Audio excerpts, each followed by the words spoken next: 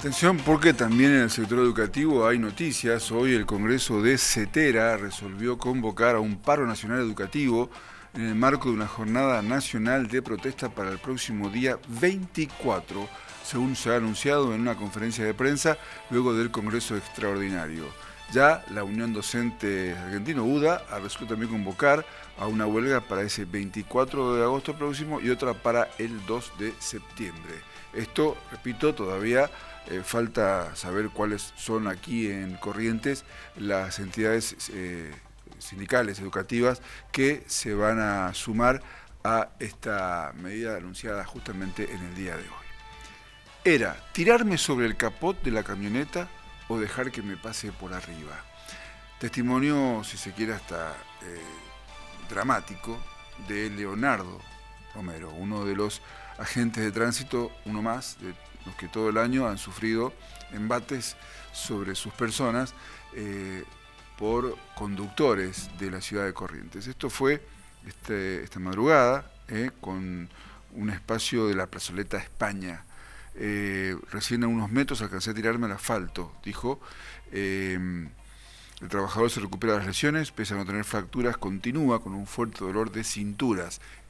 por supuesto llegó a estar en terapia intensiva por todo lo que significaron los primeros estudios de después del accidente. Walter Parisi es el director de tránsito de la municipalidad y contaba con detalles qué pasó esta madrugada. Optó por darse la fuga para que no le secuestren el vehículo, para lo cual, eh, en una conducta dolosa, eh, para lograr su impunidad, para lograr que no se le secuestre el vehículo, no tuvo mejor y brillante idea de, de poner en marcha su vehículo y atropellar a un inspector, llevándolo, arrastrándolo 30 metros con su camioneta. Luego el inspector termina despedido sobre la cinta asfáltica eh, con heridas de consideración y lógicamente su traslado a un nosocomio local ahí por Rivadavia y España para que este, se verifiquen su herida, para que se le hagan los estudios necesarios y, se le practiquen las curaciones ¿no? del caso. ¿Cuál es el estado de salud de la gente? Bueno, la gente, la gente eh, en este momento está internado en terapia intensiva, por lo que no tenemos acceso. El agente es Romero Leonardo, un hombre de amplia trayectoria dentro de la Dirección de Tránsito, con una conducta intachable, eh, tiene un legajo impecable. Bueno, lamentablemente, lamentablemente Leonardo Romero espero que se esté recuperando de las lesiones que recibió de parte de este conductor irascible y, un conductor joven de unos 25 años aproximadamente y que no ha aprendido, no entiende. Eh, y, ni, ha, ni, ha, aprendido a, convivir en sociedad.